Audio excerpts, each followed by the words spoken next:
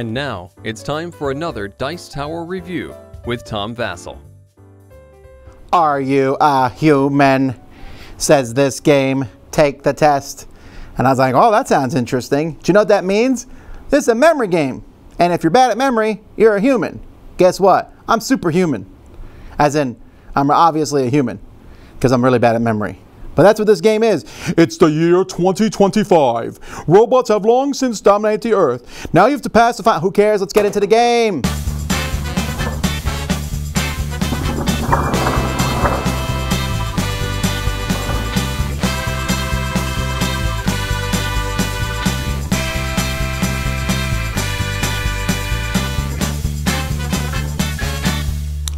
So this game comes with a whole pile of tiles that have different features on them, one to four symbols that are different shaped symbols and different colored.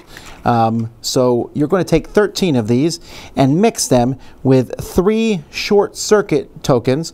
You're going to take them all and you're essentially going to shuffle them around and then you're going to place them in a grid that is face up like this.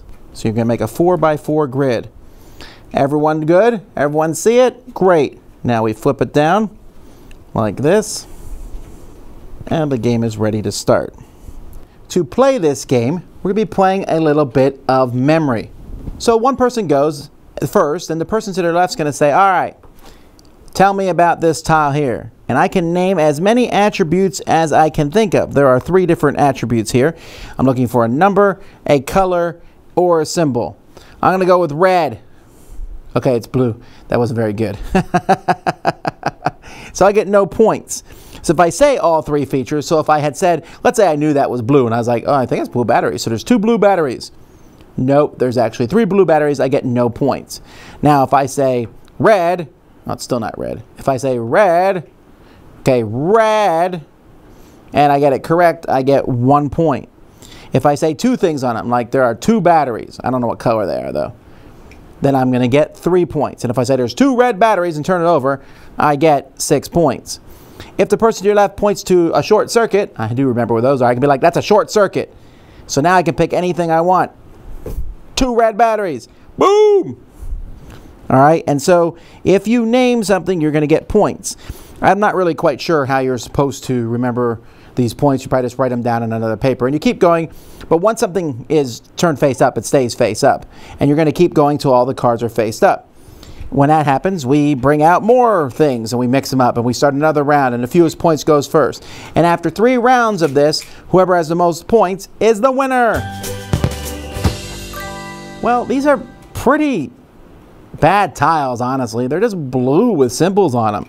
And why are they using red and green as two colors here to differentiate between? Why not like pink and... Uh, this is really bad for colorblind folk. But the whole thing just has this very like, hey, we just threw this together at the last minute. The tiles don't look that interesting. Um, and I was a little annoyed because these are short, short circuit tiles. And I knew that because of uh, nothing. It told me what came with the game, and I just guessed that those were short circuit tiles. It finally shows you over here. But for rules that are this short and that simple, ah, they should have been a little bit more explanatory. The game can be made harder or easier by having more columns and more rows and things like that. And there's more short circuit cards if you want to do that.